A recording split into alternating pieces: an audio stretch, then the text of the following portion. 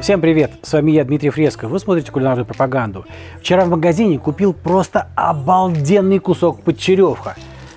Одни мясные прожилки. Сала почти нет. Э, правильнее было сказать, что там а, прожилки сала имеются. Решил, будет сегодня праздник для желудка. Ну, согласитесь, грех такой кусман а, просто готовить там сыровяленым или варено-копченым способом. Сразу же засолил самым простым способом. В посудину обычную поваренную соль, холодную воду, ничего не размешивал, само все разойдется. И в холодильник под пленку на сутки. И сегодня запеку на углях этот отличный кусок. Но сначала надо его подготовить. Натеку шкуркой сеточкой, чтобы даже то небольшое количество сала под кожей, что есть, легче вытапливалось. Ну, теперь надо смешать черный перец, зиру, соль и розмарин. И натереть этой ароматной смесью кусман со всех сторон, особое внимание уделяя шкурке и надрезам, чтобы сало все пропитывалось этими вкусами и ароматами, потом это ароматное сало стекало по куску, ароматизируя его весь. Остается насадить на крюк и э, можно запекать вот в таком виде.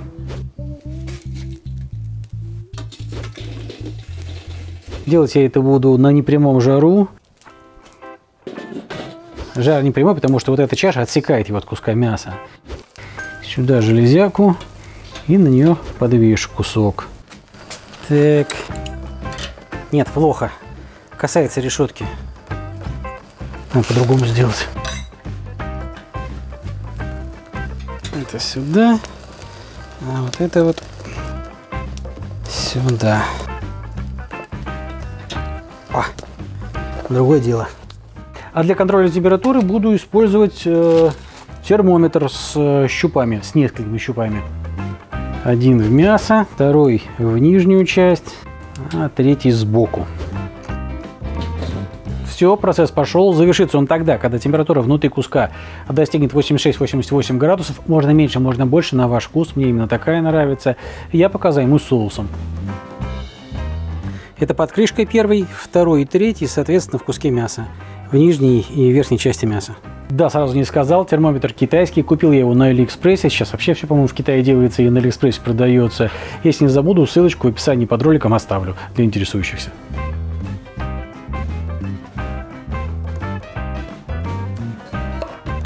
Для соуса понадобится поджарить сладкий перец, лук и чеснок.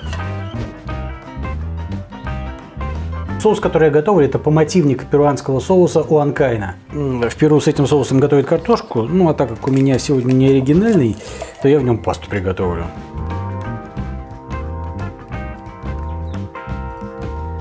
Все, можно жарить, как я уже сказал. Буду делать это на оливковом масле. Теоретически, конечно, овощи можно было бы и на углях запечь, но на сковороде быстрее.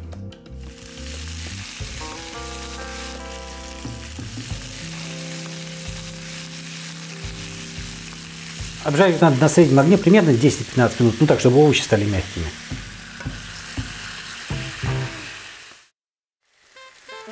Готово, пожалуй. Переложить все в блендер.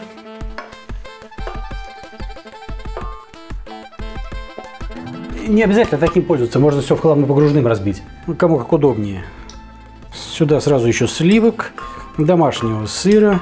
Ну, это творог, по сути, только не кислый немного хлеба, соли и пожужжать.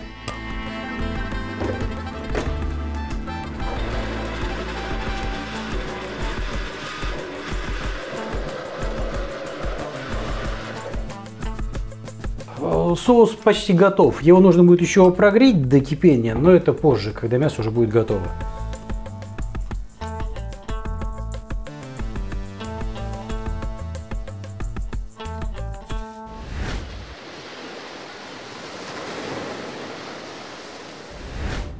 Пора заниматься гарниром. Соус в широкую кастрюльку. И надо довести его до кипения при помешивании, естественно.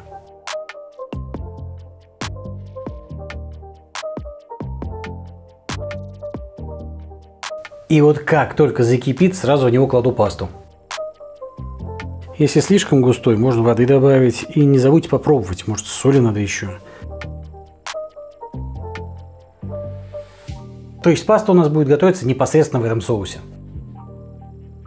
А я тем временем натираю сыр. Для такого случая разорился на настоящий пармезан.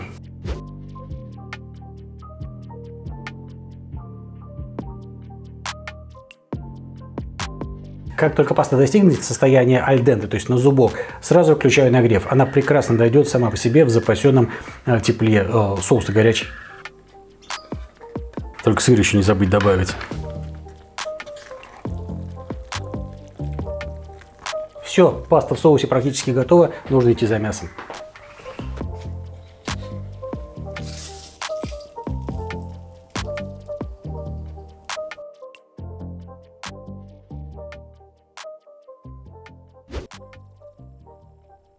Отлично, можно трескать.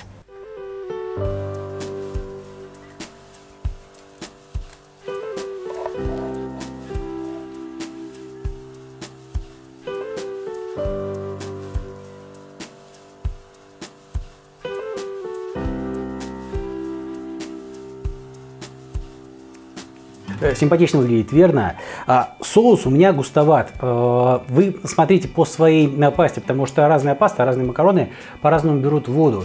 Поэтому я не буду указывать, сколько я воды в этот соус добавлял, потому что для одной э, пасты нужно одно количество, для другой другое. Просто когда готовите, помешиваете, сразу понемножечку подливайте прямо по виду, как получится.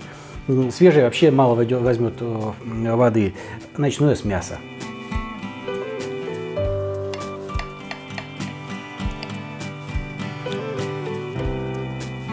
Видели, какой сочный, правда? Ну-ка, вот этот кусманчик. Обязательно с хрустящей шкуркой а, и с сочным мясом. М-м-м, с дымком. Насчет перца и пряностей. Она пряная, острая, солоноватая. М-м-м. Это, конечно, заслуга этого друба. Потому что мяса много, жира мало, но он есть. И он вытапливался, он пропитывал все эти кусочки. Классно. И дымное кольцо вы тоже видели, да? Потому что оно подкоптилось. А теперь по. Ну-ка, надо навернуть. Свернуть. Какой рулончик. Плохо он у меня сворачивается. На контрасте получается.